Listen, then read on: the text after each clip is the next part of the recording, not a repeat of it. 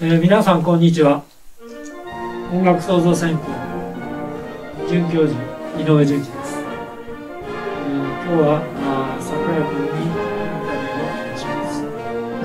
す。桜井君自己紹介。はい、はい、えー、東本学大学3年生の桜井翔太と申します。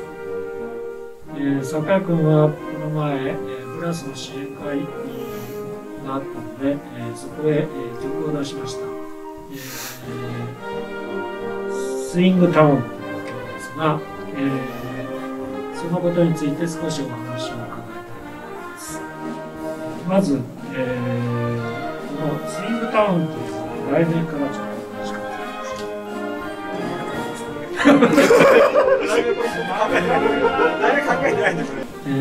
この曲についての経緯をちょっとお話しください。はい。このスイングタウンという曲はもともと吹奏楽のとある公募の方に応募していただいたなんですけど、今回その支援会に出すにあたってちょっと手直しして、今回出させていただきました。はいちょっと疲れたかで、えー実際に音にしてもらったわけですけれども、はい。えーいかがでしたか？自分で聞いて。い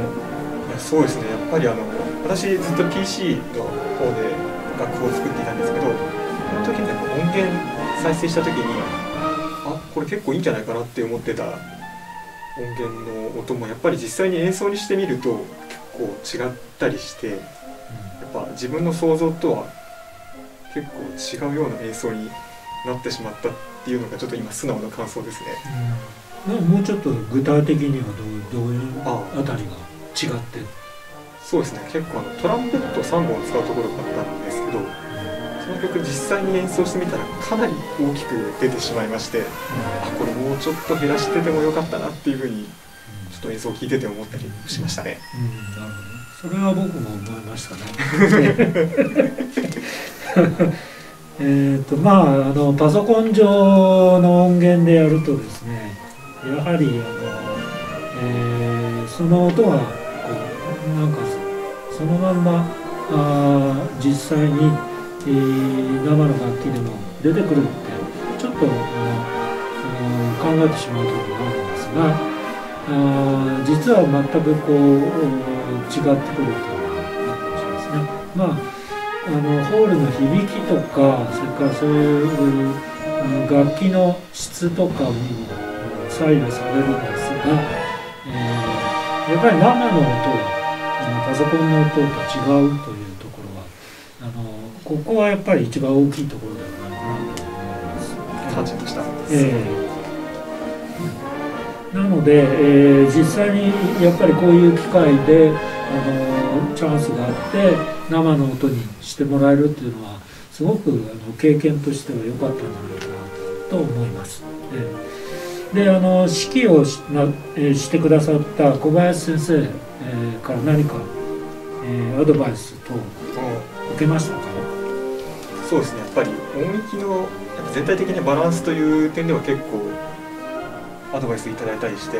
もうちょっとここあなあってもいいんじゃないとかなくてもいいんじゃないとかっていう結構バランスの面でも結構アドバイスいただきました。うん、それはなんか楽器の？そうですね楽器の厚さとかっていう意図がもありましたし、はい、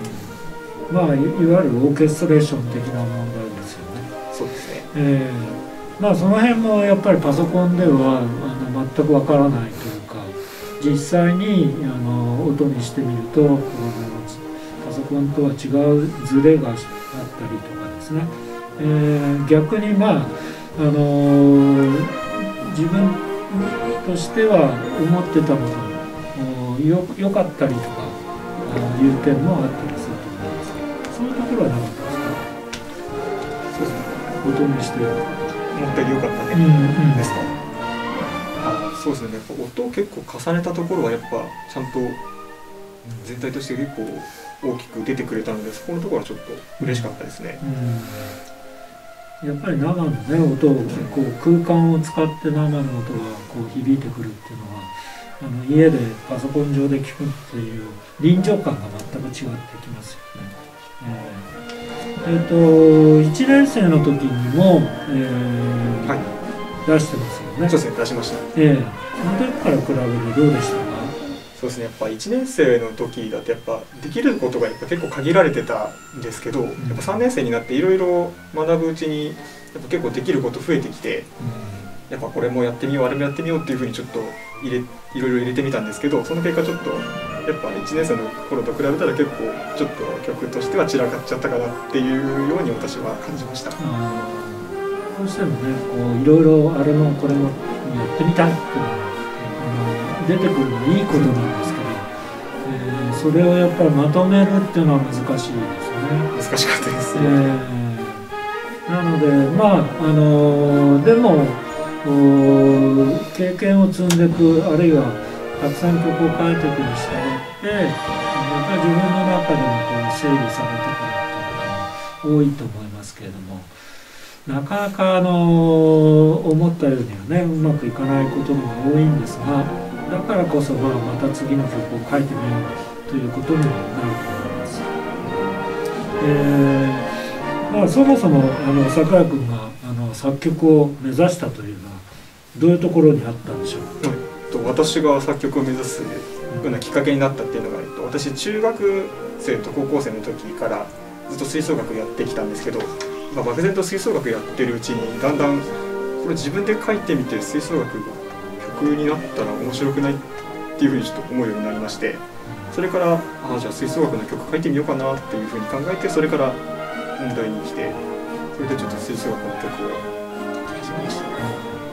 吹奏楽では何の楽器をあそうです私はずっと6年間中高でずっとパーカッションをやっていました。うん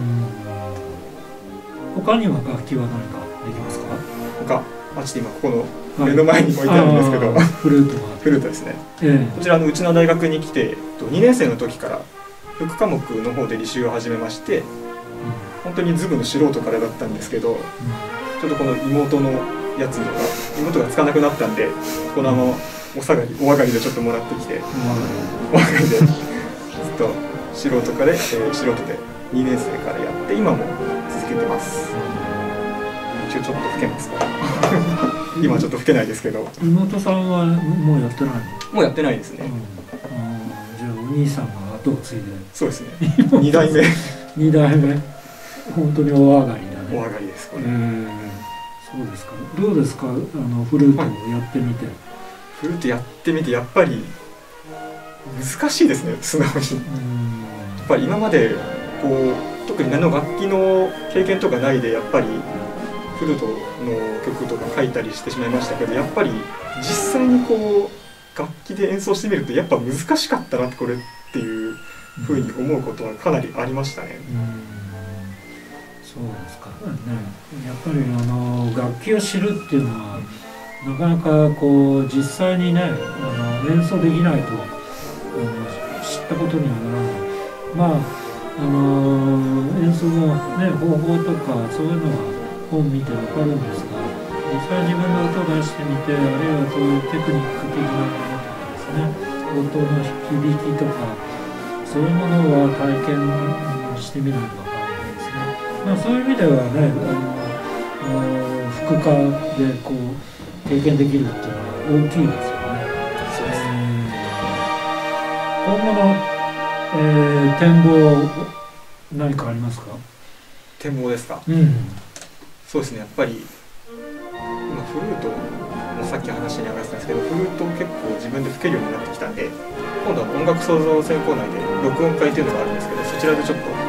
フルート自作自演をしてみようかなというふうに思います。うんそれはまたね、えー大胆な試みですけど、えーそれをまた一つの経験として今後に大きく、ねえー役に立つことがあたくさんあると思います。ぜひ頑張ってやってください。頑張ります。ということで以上今日はあの桜井翔太君にインタビューをしてみました。それでは皆さんさようなら。